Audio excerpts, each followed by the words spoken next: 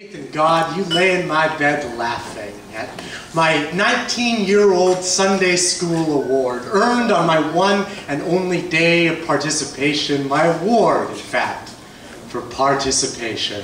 And it's so easy to laugh at awards that everyone wins because they don't make us feel like snowflakes or astronauts or anything special at all. They don't remind us of genius or the twirl of fingerprints we swear we memorized off our lover's touch. And it's an honest craving to be special. It's certainly kept crown makers and TMZ in business. But the price you pay for every ornament replacing the words for who you are, the words that people are too often too lazy to think of, is this that on some hopeless nights or endless shuttered days, you don't have the words to say how lonely you are. The loneliness that your loved ones tried, failed to understand, except failure implies the possibility of success, and really it feels hopeless. Like what it is to be you is what it is to be a bat, and feel echolocation. And since we can't see sounds, we can't make out the walls of the prison you're in, we have to take you at your word that it's dark inscrutable, yours.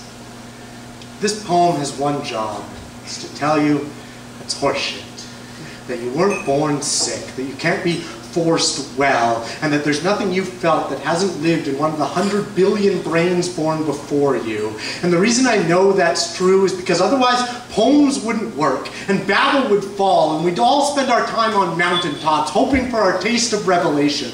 We've got to stop building monuments just for us to be alone with God, because that ends up meaning alone. And yes, I know, Monuments to humanity are often ugly and televised, like bought store traffic jams or injection molded plastic trophies. But if TV has one job, it's to warm us like the fires we don't light anymore. And if plastic has one job, it's to remind us that we've tamed dinosaurs. And if this poet has one job, it's to tell your story, because at their best, Poems are memories, and we give them voice so they can live a thousand lives in other people. You and I, can build cathedrals and pin above their altar every award we've ever won for participation.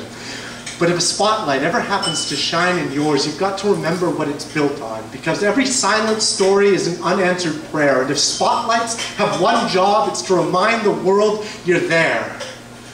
You fell asleep about halfway through that rant, so I quieted down and lay still.